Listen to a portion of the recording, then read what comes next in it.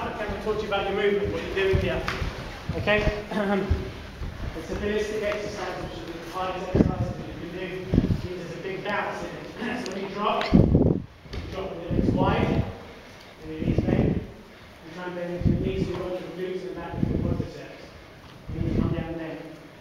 And you jump, you push through the middle as high as you can, close your arms close, like a bullet, and then you drop straight. And you jump straight, and you drop low. It's quite difficult. It looks simple, but it's very difficult. But it's good for toning up the legs. Let's do one more minute on that, guys. Move on.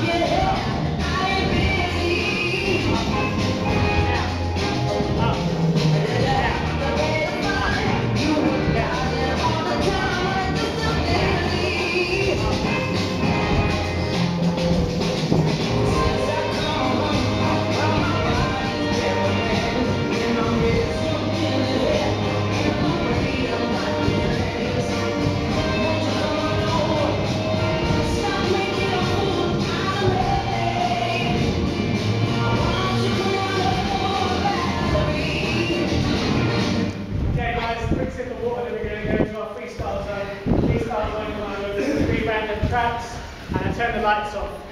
So this freestyle dance, each track will last